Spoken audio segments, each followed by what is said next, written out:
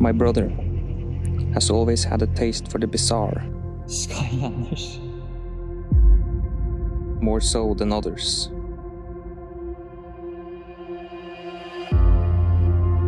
You've known him for a while, right?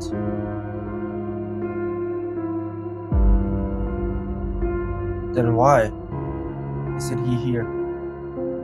So this is your choice then? Even if it will affect them.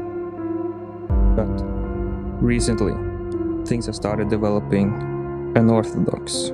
Even though he would back down from any physical contact, certain subjects would make him talk. Usually, I could spot him anywhere. His name? Eskil Fossum. Sometimes he's so nerdy that even I think it's scary. All of it. All I can to increase my stimuli tenfold. No matter how many movies he's watched, he watches more.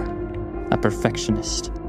Everything I do and things I make all have to be perfect by design. You didn't know? He's a real mentor. Others may operate the camera or edit the video, but the role of directing, he will never submit. But if he finishes what he's doing and succeeded, will he even care to come back? I can't believe this. While watching a montage video, another unskippable ad.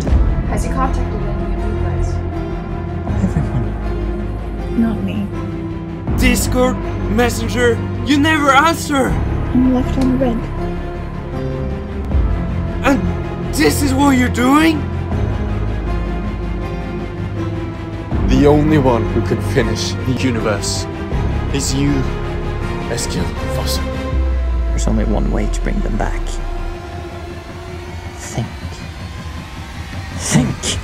I just keep watching movies until I've seen them all. Ask you. Do you have any idea what you have drawn?